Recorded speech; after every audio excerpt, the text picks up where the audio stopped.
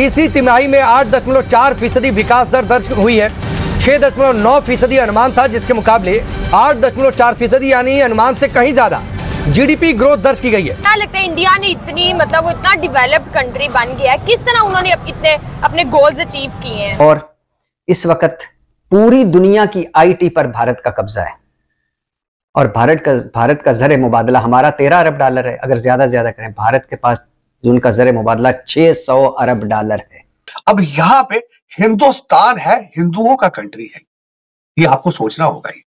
यहाँ पे अगर मुसलमानों ने रहना है तो उन्होंने तालीम के लिए उन्हें तालीम याफ्ता होना चाहिए लोकल कल्चर की उन लोकल जो मेजोरिटी है उनके रिलीजन की रिस्पेक्ट के बगैर यहाँ पे गुजारा नहीं होगा उनका। एक से बढ़ के एक डेवलपमेंट के काम हो रहे हैं और हम जस्ट उसको देख के शर्मिंदगी महसूस करते हैं और क्या कह सकते हैं जो काम हमारे करने के थे वो काम उधर हो रहे हैं तो इस बात पे तो अफसोस होता है। और फिर नरेंद्र मोदी जो अकलीतों के लिए दुश्मन साबित हुआ है जो सेकुलर भारत का कातल साबित हुआ है जो मुसलमानों का कातल है लेकिन उसने भारत के लिए क्या कुछ नहीं कर दिया?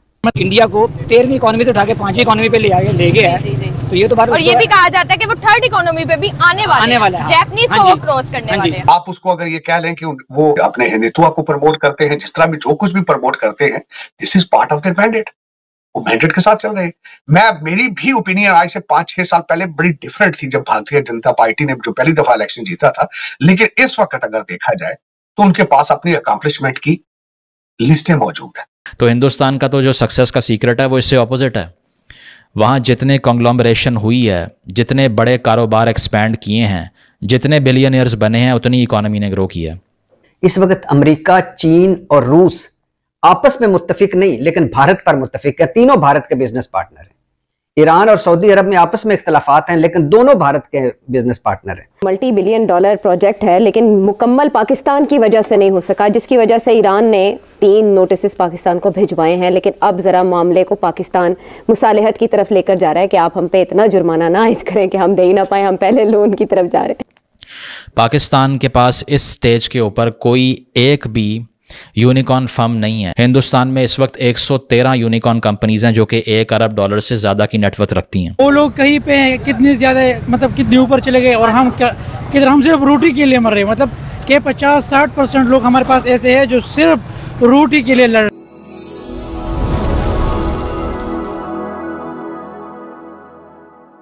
हम आपको आपको पता ही है कि हम एक अरब डॉलर लेने के लिए आईएमएफ से लोन लेने के लिए उनके कदमों में बैठे हुए उनके कभी घुटने छूते हैं, कभी पाँव छूते हैं, कभी तरले डालते हैं, कभी मिनते डालते हैं, कभी अमरीकी सफ़ीर को फ़ोन करते हैं, कभी नायब अमरीकी वज़ीर खारजा से रिक्वेस्ट करते हैं कि आईएमएफ को हम मान जाए।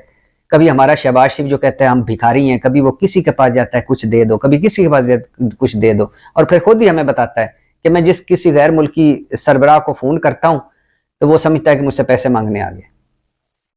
हम एक एक अरब डॉलर यानी आईएमएफ से हमने लेना होता है तो हम कितने पूरा मुल्क आईएमएफ चला रहा है। कितने हम उन, उनके आगे भिकारी और फकीर हैं? एक अरब डॉलर के लिए। भारत का एक अंबानी ग्रुप जो है मुकेश अंबानी उसका उसकी जो अ, उसकी जो मार्केट वैल्यू छोड़ दीजिए जो अंबानी ग्रुप की उसके जो दौलत है मुकेश अंबानी के पास वो सौ अरब डॉलर है। मुकेश अंबानी के पास इस वक्त सौ अरब डॉलर है। हम एक एक अरब डॉलर के लिए मांगते फिर रहे हैं। और हमारा टोटल जो पाकिस्तान का जर मुबादला है, वो कोई तेरह अरब डॉलर बताता है, कोई दस अरब डॉलर, कोई आठ अरब डॉलर, तेरह अरब डॉलर भी मांग लें तो मुकेश अंबानी के पास सौ अरब डॉलर। और ये भारत को, ये मैं कोई दूसरे देश की कहानी नहीं सुना रहा। उन्नीस सौ सैंतालीस में हम इकट्ठे ही लैदा हुए थे और 1990 तक भारत का बुरा हाल था। फिर नरसिम्हा राव आया, उसने एक बुनियाद रखी आईएमएफ को गुड बाई कहा। और फिर नरेंद्र मोदी जो अकलीतों के लिए दुश्मन साबित हुआ है, जो सेकुलर भारत का कातल साबित हुआ है, जो मुसलमानों का कातल है, लेकिन उसने भारत के लिए क्या कुछ नहीं कर दिया? इस वक्त अमेरिका, चीन और रूस आपस में मुत्तफिक नहीं, लेकिन भारत पर मुत्तफिक है। तीनों भारत के बिज़नेस पार्टनर हैं। ईरान और सऊदी अरब में आपस में इख्तलाफात हैं, लेकिन दोनों भारत के बिज़नेस पार्टनर हैं। और यूएई तीसरा बड़ा बिज़नेस पार्टनर है अमेरिका और चीन के बाद भारत का। अभी यूएई ने 27 एकड़ ज़मीन दी और वहाँ मंदिर बनाए साढ़े नौ करोड़ डॉलर का। और ये जेन में रहे कि एक तरफ़ भारत में मस्जिदें गिराई जा रही हैं और बाबरी मस्जिद गिराकर मंदिर बनाया गया और उधर यूएई उस मंदिर के लिए सत्ताईस एकड़ ज़मीन दे रहा था।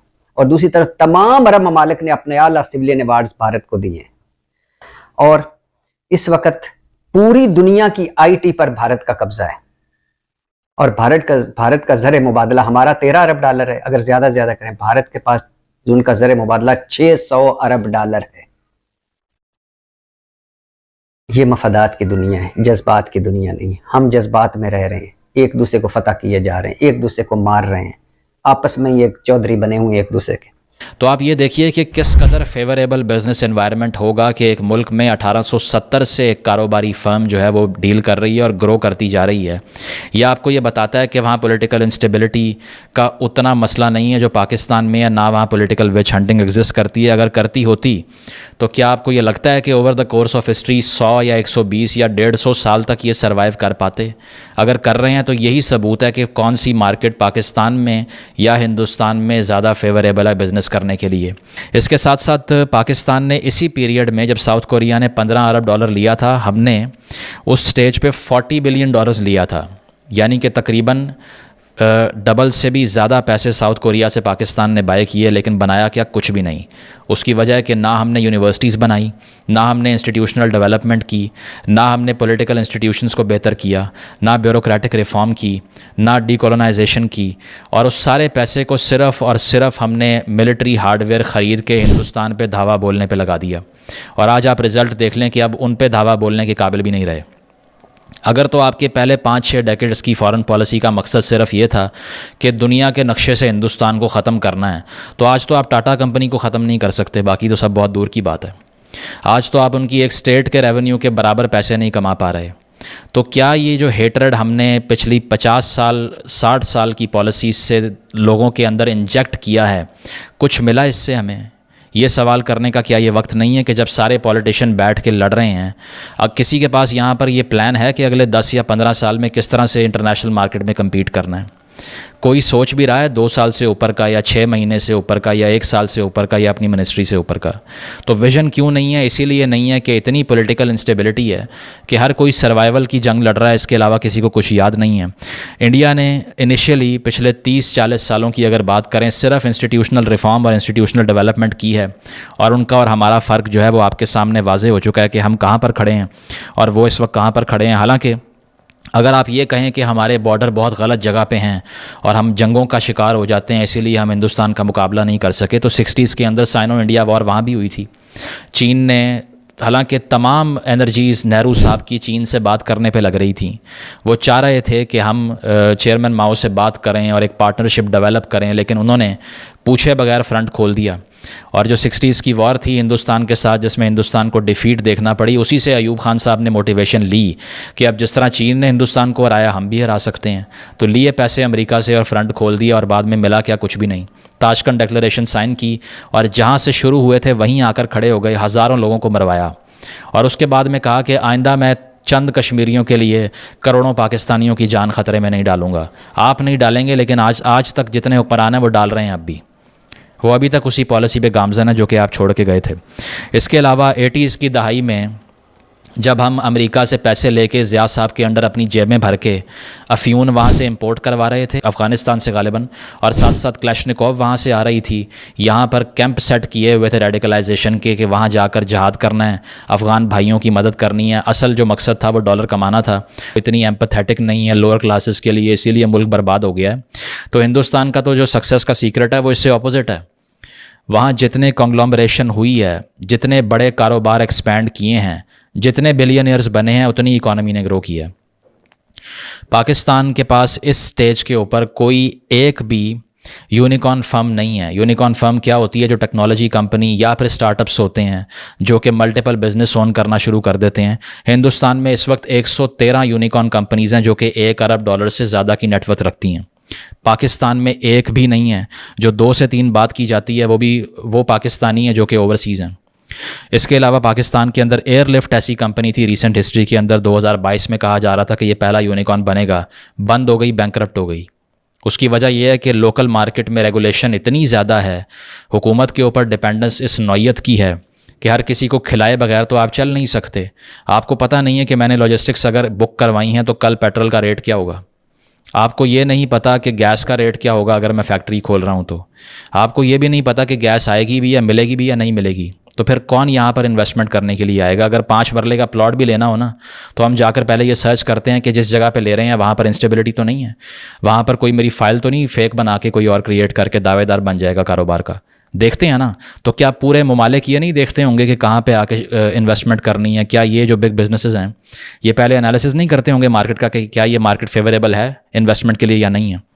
यही सूरत हाल हमारे मुल्क को खा रही है। सो so, नमस्कार दोस्तों जय हिंद। दोस्तों जैसा कि आपने वीडियो में देखा कि इस क्वार्टर में भारतीय जीडीपी ग्रोथ ने ऐसी रफ्तार पकड़ी है कि वर्ल्ड बैंक से लेकर आईएमएफ तक सबको परेशान कर दिया है। भारत की इस क्वार्टर की जीडीपी ग्रोथ 8.4 परसेंट आई है जो कि पूरी दुनिया में सबसे ज़्यादा है।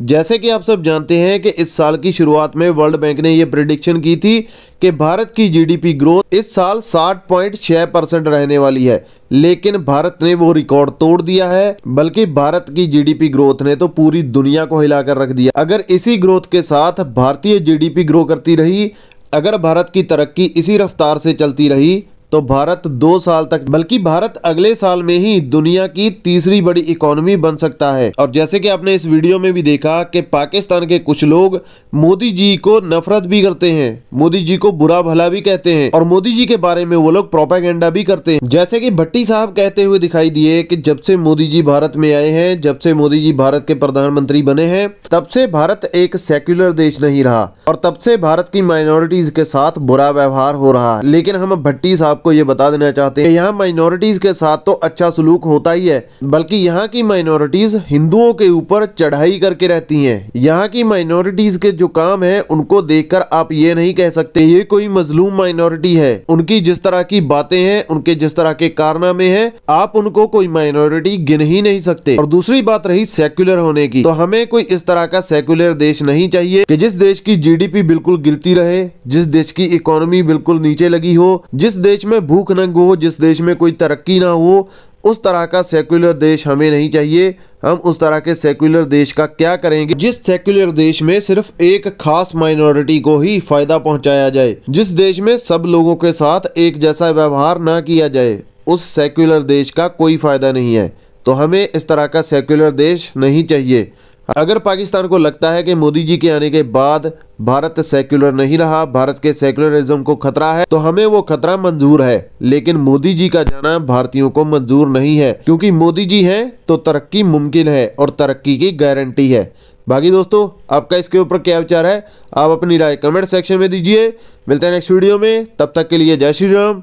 जय हिंद। आने वाली वीडियोस को देखने के लिए चैनल को सब्सक्राइब करके बेल आइकन प्रेस करें, जिससे आने वाली वीडियोस आपसे मिस ना हो।